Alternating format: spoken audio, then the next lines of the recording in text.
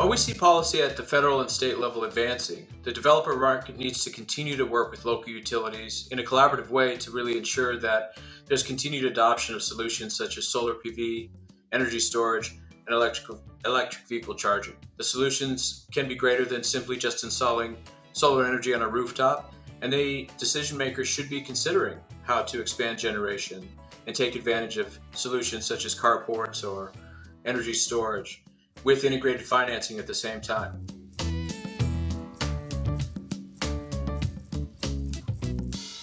With each site, there's complexity, and renewable energy development has, you know, requires different site design constraints, evaluation of real estate or utility interconnection options, just to name a few.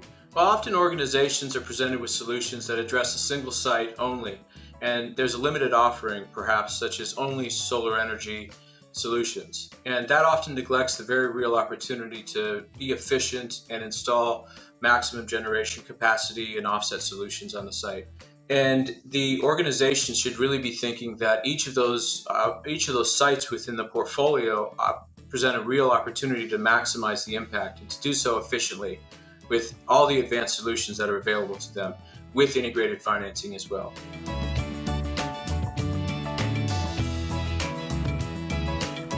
Well, to take smarter action, customers should first seek to work with a great team.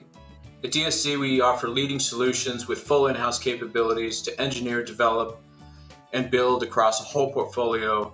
And we can streamline that solution with integrated financing where we stand alongside to ensure project performs for the long term for years to come.